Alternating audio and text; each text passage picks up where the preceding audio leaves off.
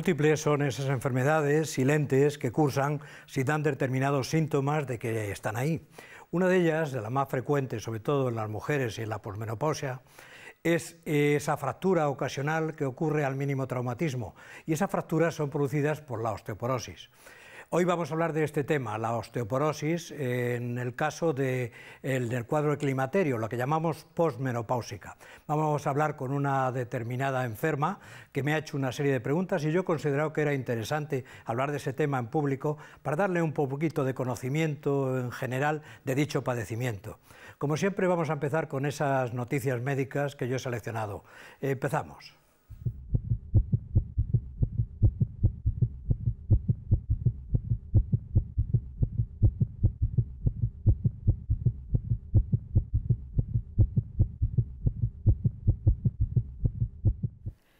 Comida grasa, somnolencia diurna.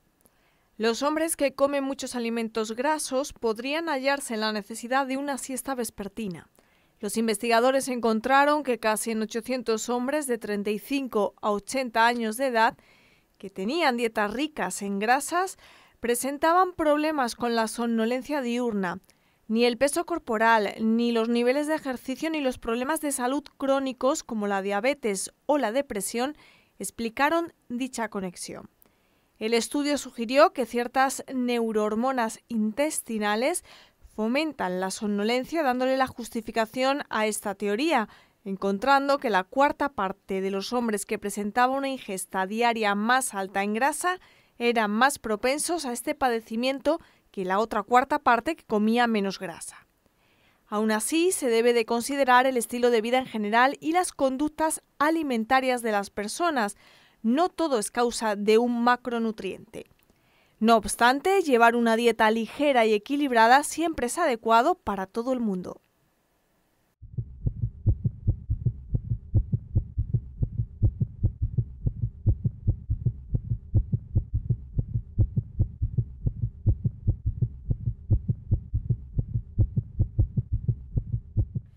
La razón del por qué los seres humanos tenemos un cerebro más grande. La grasa corporal y el metabolismo dan a las personas una ventaja evolutiva con respecto a otros primates. En el estudio, los científicos compararon 141 seres humanos con 27 chimpancés, 11 orangutanes, 10 gorilas y 8 chimpancés pigmeos, encontrando que los seres humanos presentan una predisposición evolutiva a hacer depósitos de grasa, mientras que el resto de los hominoides siguen teniendo relativamente poca grasa. Resulta que la frecuencia con la que el cuerpo quema calorías, metabolismo, va más rápido en los seres humanos que en el resto de primates. Por eso precisan de más masa corporal, lo que proporciona reservas de energía que son necesarias para alimentar ese metabolismo más rápido. De ahí que estos acúmulos son mayores por la actividad cerebral de los humanos, para ayudar en los esfuerzos por promover y reparar la salud metabólica de los mismos.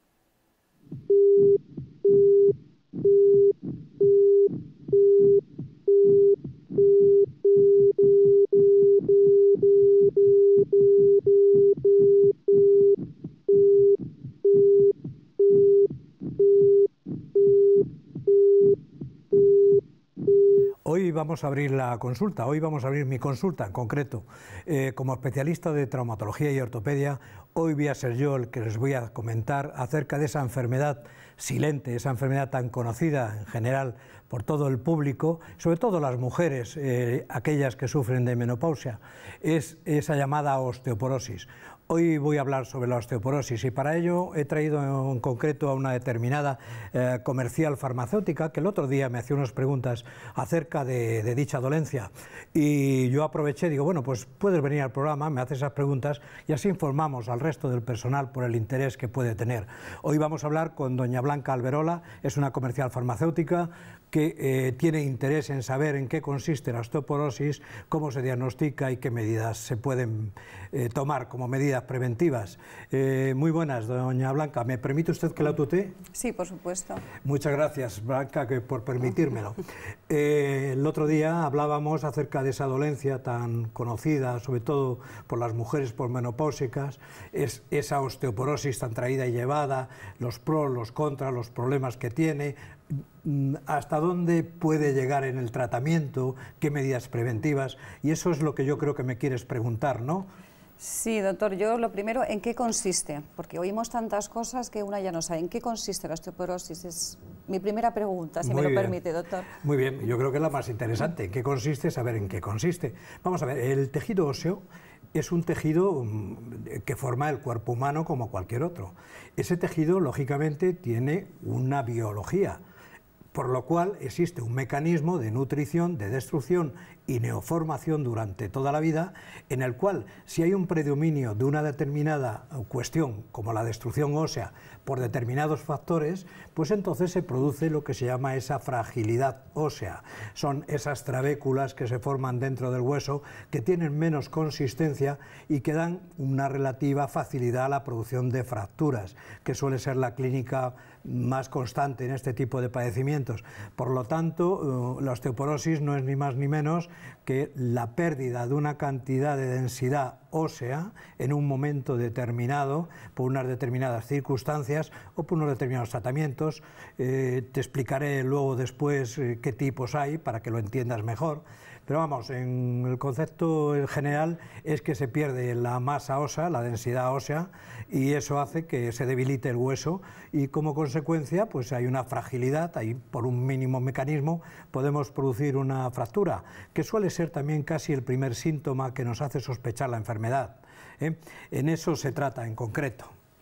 Esperemos que no me tenga que romper primero para detectarla.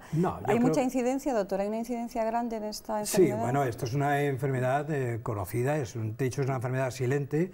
Lógicamente, mira, el, el hueso tiene un mecanismo mm, de defensa, eh, lo que llamamos la remodelación ósea durante toda la vida. Eso lo denominamos turnover. Es decir, hay unas células que se encargan de destruir el tejido óseo y otro neoformarlo. Ese, compás de neoformación y destrucción ósea es lo que permite que haya una determinada elasticidad y una determinada calidad ósea. Pero hay que tener en cuenta una cosa muy interesante, y es que la densidad de masa ósea, el pico en concreto que vas a tener durante toda la vida, se adquiere a la pubertad. Es decir, posteriormente, por mucho aporte que demos después del desarrollo, después de la pubertad, ese índice de masa, no de masa, de densidad ósea, es prácticamente constante. Depende de la dieta que hayas llevado anteriormente, el acúmulo cálcico que hayas acumulado en tus huesos, es lo que te va a dar la calidad ósea. Luego ya posteriormente la remodelación la va a mantener en un ten con ten, bien sean con dietas o con medidas sanitarias. Hablabas de la incidencia, pues lógicamente es la incidencia muy grande, pero tiene incidencias desde el punto de vista clínico, médico y desde el punto de vista social. Es una enfermedad silente, como te digo, y está demostrado que a lo largo de la vida, pues una de cada tres mujeres o uno de cada cinco hombres, ¿eh? porque es más frecuente en mujeres, es mucho porcentaje. puede llegar a sufrir una fractura de estas características. Para ello, lógicamente, tenemos que eh, eh, mantener esa densidad ósea que hemos tenido en el pico de máxima formación, que insisto, es aquel vaso de leche que hablamos en otras ocasiones, que había que tomar y había que dar al infante el calcio aquel, para que hiciera esa cantidad de hueso almacenada, de calcio, almacenada en los huesos, de forma que le defendiese. Porque verás, el almacén del calcio está en los huesos, pero el calcio está circulante en sangre. Lógicamente, hay un cociente, que se mantiene calcio-fósforo en sangre, que se mantiene constante. Si hay un déficit dentro de la dieta, lógicamente ese calcio se va a echar mano de él ¿A dónde? Al almacén. Entonces vamos a hacer que el almacén donde tenemos el calcio acumulado se vaya hacia el torrente sanguíneo para las necesidades, otro tipo de necesidades que tiene el calcio también en otras funciones biológicas, como es lógico. Entonces, si no tenemos un almacén, suficiente bien almacenado con cantidades, pues lógicamente va a producir un deterioro, lo que estoy diciendo en el almacén óseo, en las trabéculas y una debilidad en la cuestión ósea. Eh, esto, mm, la incidencia, lógicamente, también por el tema de las fracturas, de una incidencia social. Lógicamente, pues horas de trabajo, si es momento laboral, eh, en circunstancias laborales, aunque suele ser, como ya digo, en posmenopósica la mayor incidencia. Pero vamos, eh, la incidencia social es muy grande y hay que tenerla muy en cuenta como medida preventiva, lógicamente. ¿La causa, doctor, entonces es la edad principalmente? Me... No, yo te he hecho el comentario de que a partir de los 50 años, por aquello de meter un dato estadístico aproximado, de que uno de cada cinco hombres o una de cada tres mujeres, a partir de los 50 años eh, lo va a tener. Para eso tenemos que catalogar, clasificar las fracturas de eh, las lesiones del, por la osteoporosis, eh, distintos eh, orígenes, porque no toda es la, la, existen tres tipos de osteoporosis, una es la osteoporosis posmenopáusica, que vuelvo a insistir que es la más frecuente, otra la senil, la del adulto, que es más frecuente en hombres, y otras hay producidas por determinadas enfermedades, determinados padecimientos, como el tiroides, o también puede ser que sea producido por... Eh, ahí había un dicho muy antiguo que decía aquello de que la cama come mucho, es decir, tú te metes en la cama y poco a poco se va haciendo con el cuerpo.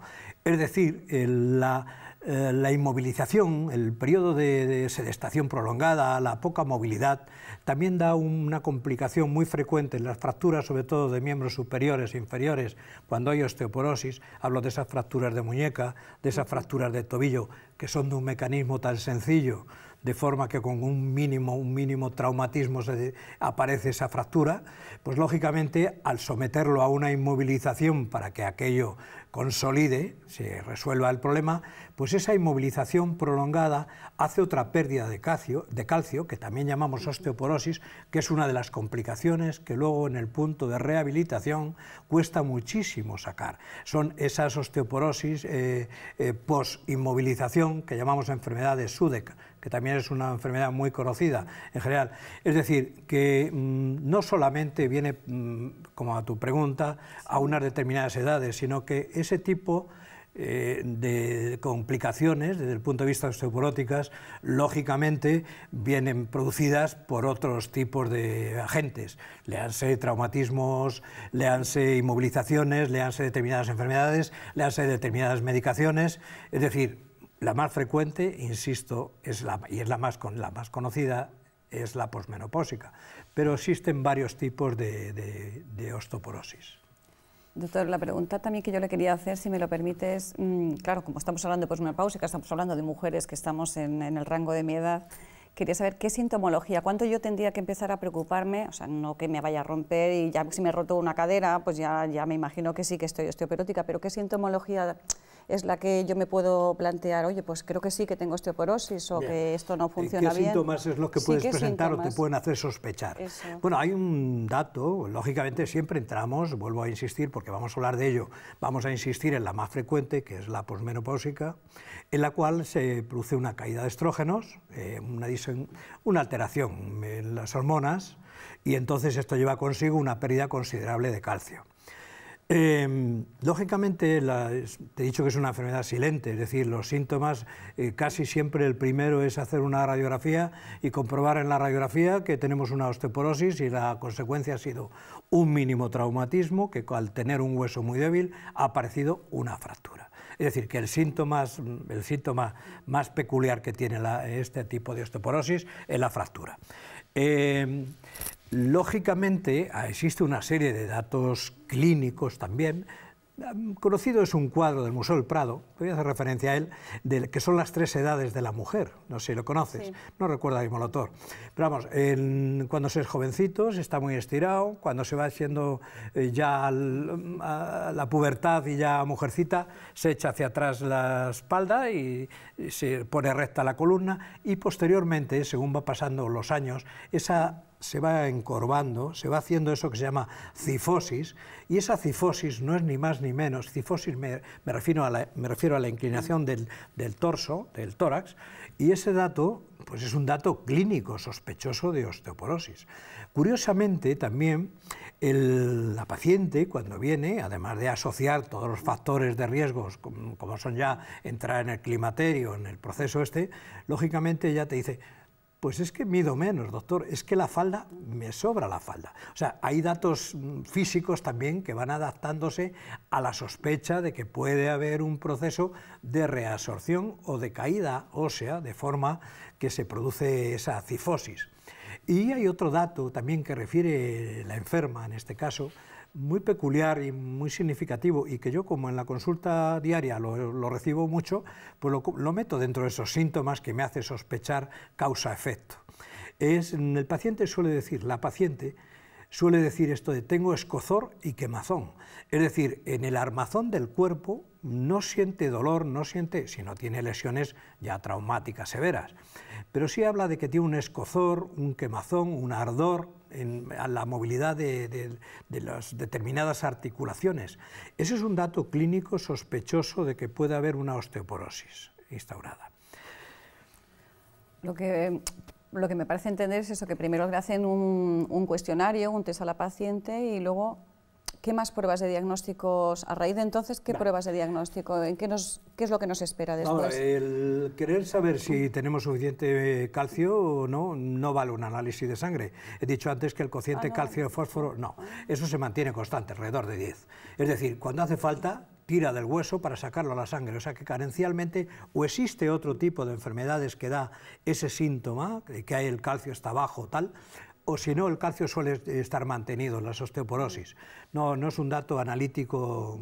Existe una serie de pruebas, algunas son relativamente complicadas, esas pruebas de biopsia, que es la directa, que es la que más te dice si, trabécula, si hay trabéculas o no hay trabéculas. Lógicamente, es una prueba eh, dolorosa y lógicamente no se realiza tampoco comúnmente.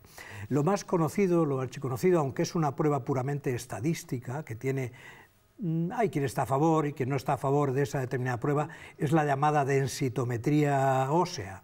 La densitometría ósea pues no es ni más ni menos que un estudio de valorar a distintos lugares del cuerpo, sobre todo a nivel de la columna, donde es más objetivable, o a nivel de unas zonas de las caderas, del fémur, el triángulo de War, que es el que primero sufre de osteoporosis, el que nos da los datos por caída en un estudio que se realiza que es estadístico. Es decir, eh, la paciente eh, se procede a valorarla desde el punto de vista raza, desde el punto de vista edad y tipo, tipo étnico, para valorar qué tipo, qué cantidad como prueba estadística tiene que tener de calcio a su edad y a su estatura y en su forma. Entonces, eh, se procede a unos porcentajes que si este porcentaje no pasa de una determinada cifra, pues se considera o mala calidad ósea o si ya está por debajo el porcentaje este en el cual nos basamos de una determinada cifra, no doy cifras para no complicar las cosas, eh, ya se considera osteoporosis, o sea, u osteopenia, es decir, osteopenia es falta de o mala calidad y osteoporosis es ya cuando tenemos un proceso de que las trabéculas óseas, como he estado insistiendo desde el principio, ya son más frágiles, más débiles y tienen más peligro de posibilidad de, producir, esta, de, producir fracturas. Esta es la prueba reina, es la que se hace a todo paciente porque es la menos dañina, la que menos daño hace, la más fácil y en realidad pues pues eso, nos da unos datos de aproximación. ¿Y no tiene que ir acompañada de radiografías normales? bueno, una, radiografía simple ah, también nos da buenas imágenes de una osteoporosis. Lógicamente, la calidad ósea, el calcio, es lo que son las imágenes del negativo que vemos en la radiología. Lógicamente, si vemos unas vértebras, lo digo porque mm, los antiguos siempre nos hemos basado, los mayores, yo, yo los llamo los adultos mayores, los adultos mayores siempre nos hemos basado en la radiología, cuando no teníamos otras técnicas. Y en la radiología, mm, eh, cuando veíamos un hueso, que estaba dibujado mm, como con un lápiz blanco, que había poca diferencia en cuanto a lo que era óseo y no era óseo, hablábamos de osteoporosis. Efectivamente, la radiología también nos puede dar algunos datos. Y una vez que nos diagnostica, doctor, ¿qué tratamientos que podemos esperar? ¿Farmacológico, rehabilitación? ¿Qué, ¿Qué hay, ¿qué hay para este nosotras? ¿Qué hay?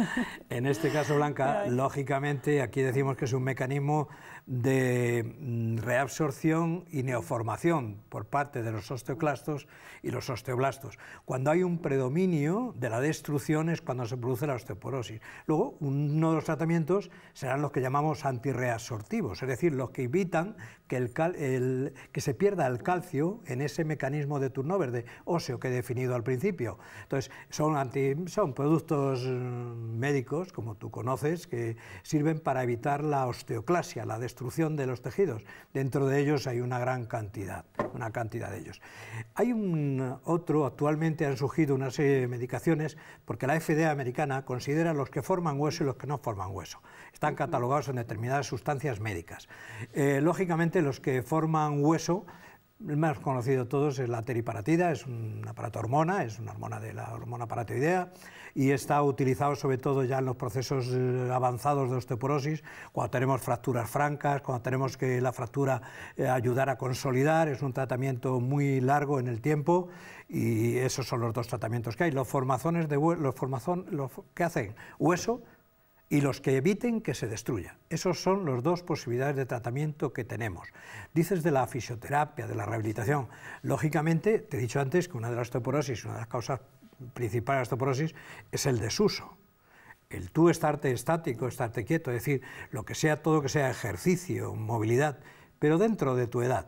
¿Eh? no entres en una competición. No tienes por qué forzar más tu organismo, sino darle esa calidad de vida que requiere en ese momento determinado con relación a tu edad, para que eso te sirva para que esa remodelación ósea se lleve a cabo y no se pierda ese calcio que hace que se elimine cuando hay una articulación, como he dicho antes, inmovilizada, con las determinadas consecuencias de imposibilidades luego de recuperar, como es el SUDEC, la atrofia ósea, o como son la posible de formación de fracturas en otras zonas, no solamente, la más frecuente suele ser la de la columna, ¿eh? pero un mínimo traumatismo, un, golpe de tos, una caída mínima y luego la fractura del cuello de fémur, que todo el mundo sabe que a una determinada edad es una de las, es las más, frecuencias, más frecuentes y las más complicadas para el adulto, normalmente.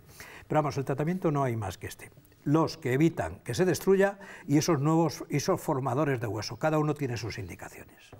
Y en cuanto al ejercicio, no forzar.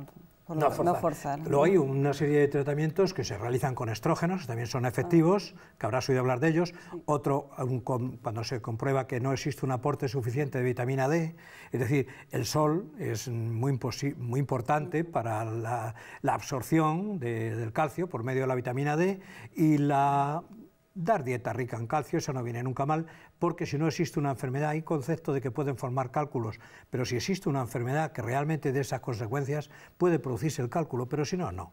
Es decir, eh, la vitamina D, el calcio y el sol, en una palabra, y la movilidad, sobre todo eso que no estamos a tiempo, digamos, de, recuperar, ¿no? Lo que me decía, doctor, la, la, masa, la densidad mineral ósea, pero con el calcio sí que podemos mejorar o podemos Hombre, el aporte cálcico para todas las necesidades, lógicamente, es mejor que lo tengas en circulación que en el almacén, porque el almacén no, no tienes que sacarlo. ¿Eso lo podíamos hacer como... Ay, perdone, doctor. ¿Lo podíamos hacer como prevención, tomar calcio antes de llegar a esta edad? Sí, sí, sí, se debe hacer, se debe hacer. De hecho, mira, tienes que tener una dieta, dieta en calcio. Estas son las medidas preventivas de estas psico de complicaciones. Eh, realizar actividad física moderada, como te he dicho, no pasarte tampoco en exceso. Eh, evitar el sedentarismo, ¿eh? Evitar los hábitos tóxicos, el tabaco, el alcohol, todas estas medidas también son buenas de evitarlas porque favorecen el que no aparezca ese tipo de proceso. Y lo demás, las normas de salud que existen para cualquier tipo de, de enfermedad. Y sobre todo, Blanca, quererse uno mucho a sí mismo, porque cuando tú te quieres y cuando previenes cualquier tipo de complicación, pues no la padeces, que es el tema de nuestro programa.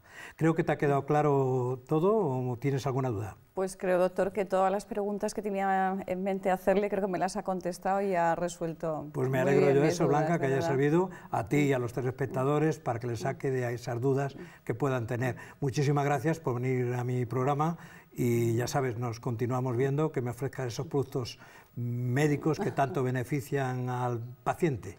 Muchas gracias. A usted, doctor. Gracias. Placer.